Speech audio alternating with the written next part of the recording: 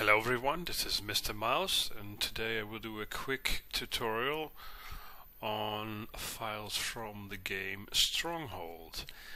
Um, Stronghold 3 to be precise and there are some files that are called V files uh, in the assets folder of Stronghold 3 and I think it's going to be a very short one because um, let's just see what what these files look like now this clearly looks like text but encrypted or, or compressed somehow now if you go to the back which I noticed just before I made this video you can see a lot of text things but also a lot of use. Now the interesting thing is that once you've seen this happen more often, you can sort of recognize what's going on. Um, and in this case, it's probably going to be exclusive OR uh, encryption. So basically what happens is that text parts, or maybe even the whole file, um, is exclusive ORed um, with one particular value. So this is a bitwise operation. Looking at this for instance is 05. If you look at the binary uh, description of this it's 101 and the rest is 0. So it's 5. If you understand binary um, so this would be 1, 2, 4, 8, 16, 32, 64, 128. So these two bits are set. That means bit 1 is set and bit 4 is set. Exactly bit 3 or bit 2, whatever you call that. But the value uh, is 4, 1 and 4 together is 5, right? So that's the decimal value.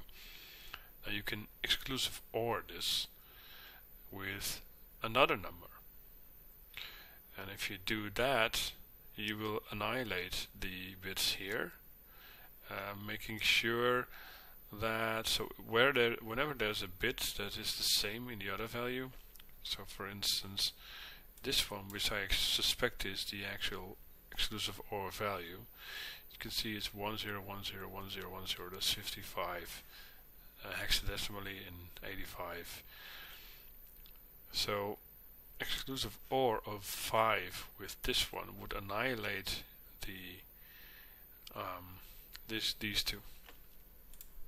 So let's see what happens if we actually do that.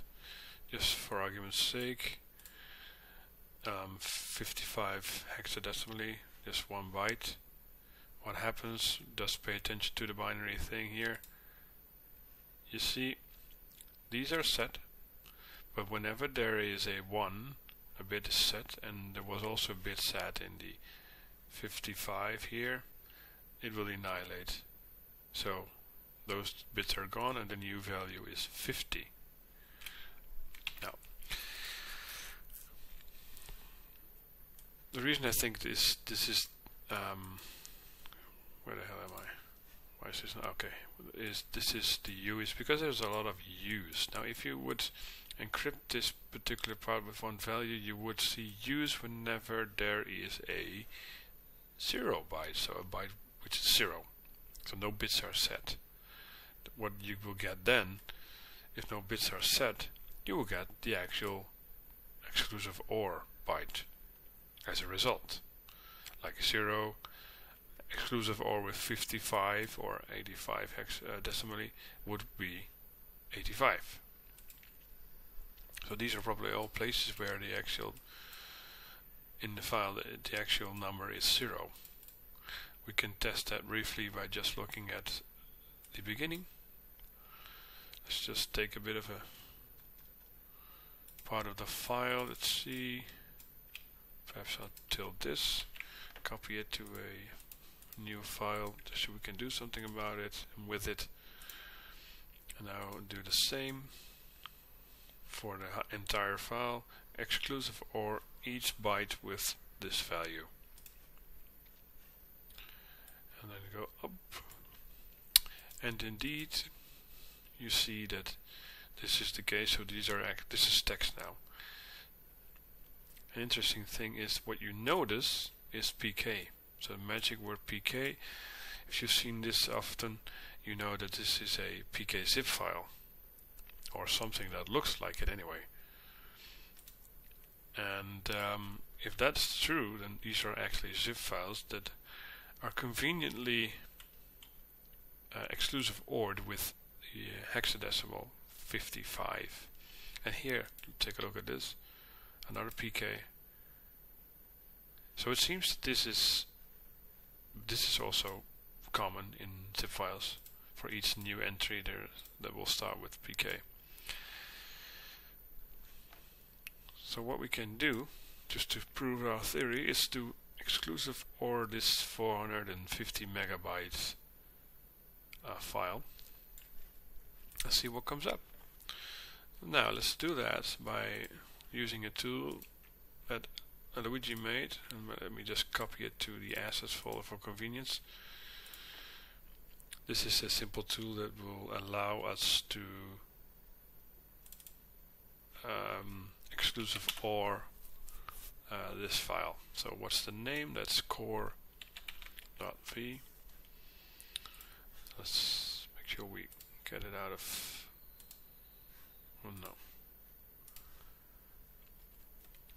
and I think I can do it like this in this tool so it's a U as a string and let's see what happens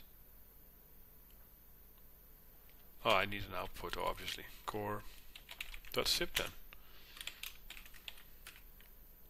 going on done okay core.zip. We should be able to just open this now.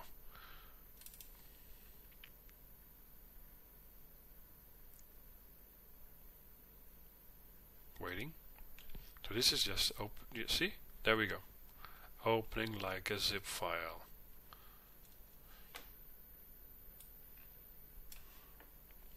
Interesting, huh? So all the things are in there. Textures and stuff. What is there even videos? No, just the subtitles. Interesting. Which is an XML file. Interesting. So now you know that you can actually change stuff in here. So even the fonts. Do, right? So if you want to mod this particular game, you could just, I mean, these are DDS files, which are texture mapping or whatever, TGA, all files. There's our graphic files, bitmap files. You can change this. I mean, just extract it and um, change stuff, then rezip it, and then run this XOR thing to get it back encrypted, and then you should be done. So this is a pretty easy format to do some easy modding.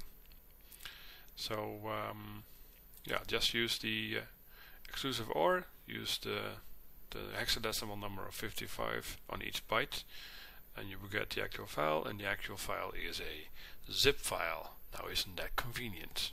Alright, until next time, bye bye.